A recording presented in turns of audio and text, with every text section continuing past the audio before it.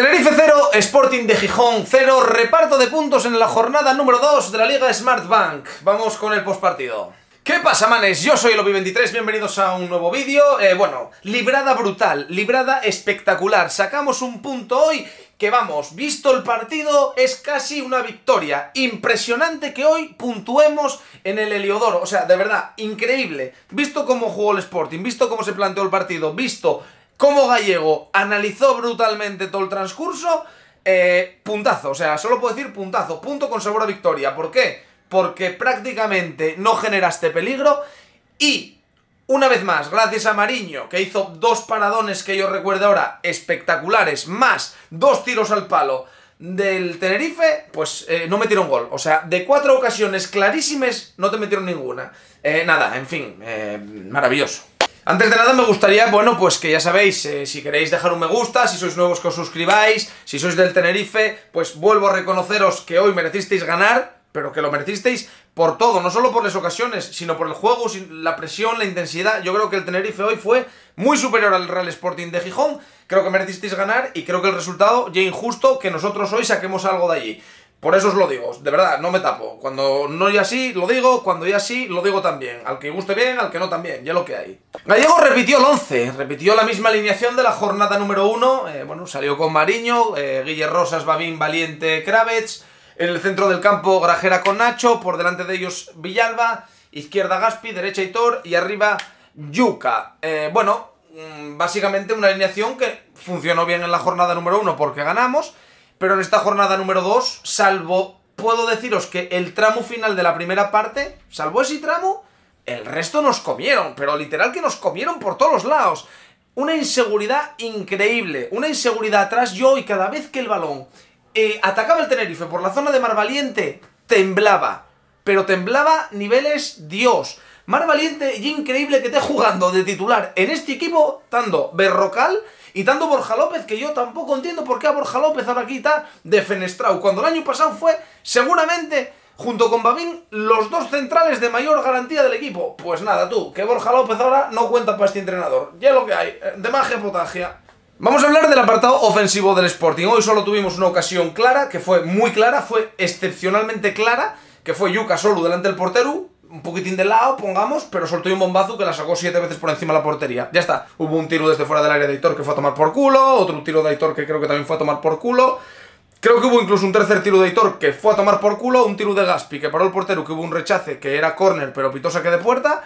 Y, y creo que el Sporting, en cuanto a llegar al área rival, de ocasiones nada más. No hay más. El Tenerife tuvo dos tiros, el cual hizo dos paradones Mariño, una jugada en la que básicamente es que Valiente está defendiendo al Kataka. Manes a la espalda. Empieza a recular, empieza a recular, empieza a recular. Mira para atrás, ve línea de fondo, sigue reculando. Salió del campo, sigue reculando. Entonces el tío centra y hace una maravilla el dorsal número 10 del Tenerife, que hace un control con un giro de volea brutal al palo. Y luego hay otra jugada en la que, previa parada de Mariño, un golpeo luego de, un chiflau que llegó allí y metió un bombazo larguero que el pavo dijo, voy a reventar esto. Y reventó la portería. Brutal. o sea, librada espectacular. Es que una librada increíble. Vosotros paraos a pensar que aquí en Asturias no tenemos verano. Hoy, este año tuvimos menos verano que nunca. Marché de la playa para venir a ver esto. Marché de la playa a las 6 de la tarde para venir a ver esto. ¿Quién me devuelve a mí esa hora extra, esa hora y media extra de poder estar tomando el sol cuando hay un bien tan escaso aquí en Asturias. ¿Quién me devuelve a mí eso? Bueno, pues vamos a hacer que compute con el punto que sacamos hoy, que hay un regalo de Dios, básicamente. Por decir nombre por nombre, Mariño MVP del equipo, 100%, brutal, Salvador, una vez más, la gente al final de temporada cuando empiecen a sacarles cuentes y digan, no, es que Mariño falló no sé qué partido, ir apuntando que llevamos cuatro puntos, cuatro puntos de los cuales, por lo menos, Dos vamos a darlos a Mariño, la mitad, para Mariño. Dos puntos para Mariño porque sí, porque lo merece. Guille Rosas subió muchísimo, acabó fundido porque se veía que estaba fundido, pero bueno, eh, hizo un esfuerzo físico brutal. Pavín Mariscal en la defensa, hoy hizo un auténtico partidazo y bueno, que claro, cuando te ponen a Mar Valiente de lado, pues eh, o estás al 500% o te emplumen. Mar Valiente, yo de verdad, chicos, y sin hate, o sea, no tapa ser titular en este Sporting. El tío, cada balón aéreo con los brazos, cada balón parado agarrando, cada balón dividido va sin intensidad, llévenlos todos. Joder, es que hizo un cambio gallego hoy que fue meter a Berrocal por valiente Y Valiente, dices tú, bueno, es que quitó al central porque tenía amarilla, porque tenía... Que no tenía nada, quitólo porque vio que estaba haciendo sangre el Tenerife ahí. Era, era un río, era un coladero. O sea, era como si abres el grifo del agua y dices tú que fluya. Pues era atacar por lo de Valiente era que fluya y venga, hombre, por Dios. Por favor, de la madre del amor hermoso, ¿cómo puede ser titular teniendo a Berrocal que viene de un Sevilla y a Borja López que viene de hacer un temporadón? Que alguien me lo explique porque yo no lo proceso en esta cabecina mía, no lo proceso. Kraves otra vez hizo un muy buen partido, acabó fundidísimo, tiró no sé cuántos centros, subió no sé cuantísimas veces, poco más. Grajera, labores de contención sobre todo, bueno, eh, yo creo que tuvo aprobado, tuvo bien, un tío que corrió mucho y que acaparó campo, pero claro, que al final tampoco fue determinante ni para bien ni para mal. Nacho Méndez también creo que acabó bastante quemado, de hecho, bueno, fue el último cambio, que lo de los cambios de Gallego, y para hacer otro paréntesis aquí, ¿eh? Lo de los cambios de Gallego, y para hacer... Bueno, hablamoslo luego. Eh, Nacho Méndez, vamos a darle el aprobado, pero bueno, bastante... No, no tuvo tan bien como la jornada número uno, por decirlo así. Por delante de ellos, Fran Villalba, que se movió, se ofreció, quiso tener el balón, el Sporting no jugó a fútbol hoy, no, no tuvo... Eh, en cuanto a poder asociar, no tuvo esa, esa chance. Pero bueno, eh, a ver, segundo partido de Villalba, tampoco vamos a esperar aquí que sea ahora gaucho. Banda derecha Hitor, un poco en su línea, no acaba de ser rápido, no acaba de ser eh, determinante. Bueno, el otro día sí, tiró un centro random que se remató, hoy tiró tres veces fuera, tiró centros, no, bueno, en fin, eh, canalita en rama. Gaspi Campos empezó por la izquierda, acabó por la derecha, creo que la segunda parte desapareció completamente. Sí que lo vi muy activo en defensa, pero es que físicamente yo creo que, que, si él puede comentar en este vídeo que lo ponga. Acabé muerto en vida, se enfocaba en la cámara y estaba rojo, pero estaba rojo, escúchame, estaba rojo como esto. Rojo como esto, rojo como la camiseta de España, estaba afogado el guaje. Pues gallego, tengo cambios aquí, ¿para qué voy a hacer cambios? Tengo cambios, los, los gestiono yo los cambios, hermano. Y bueno, Yuka, lo que os digo, falló una clarísima y desapareció. Tampoco recuerdo mucho más de Yuka hoy. Eh, presionó, corrió por ahí, pero es que en ataque del Sporting hoy... los cambios. Atentos a los cambios. Coge y quita a Villalba para meter a, Pedro de media punta para que luego Pedro acabe alternando con Nacho Méndez, que pasó a ser media punta Nacho Méndez, sin ningún tipo de sentido si cambio de Villalba.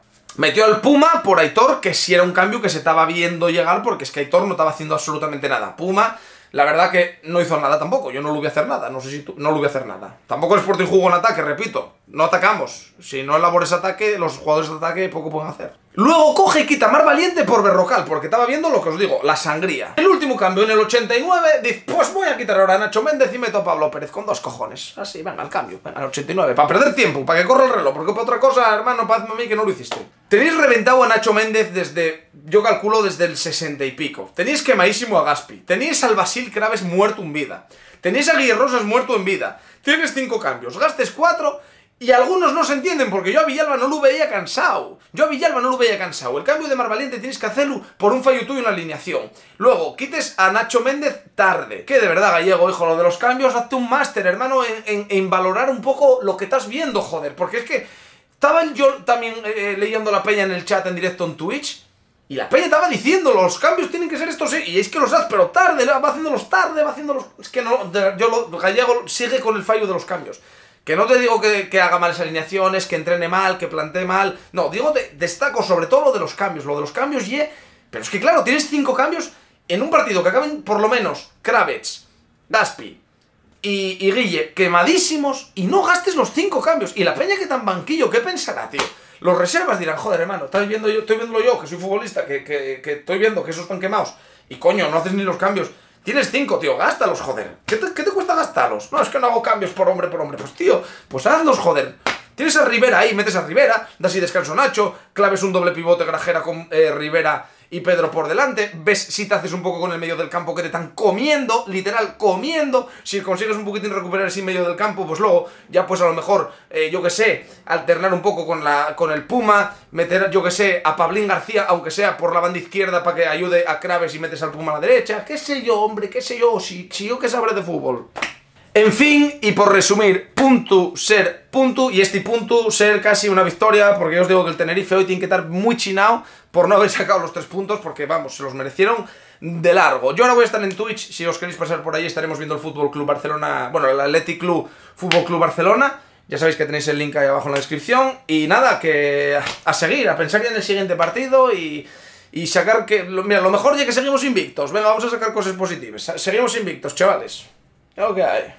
Un abrazo a todos, números uno, mastodontes, tifones, cracks, genios, ídolos, rinocerontes, lobos Vázquez y demás fauna. Nos vemos en próximos vídeos. Chao, chao.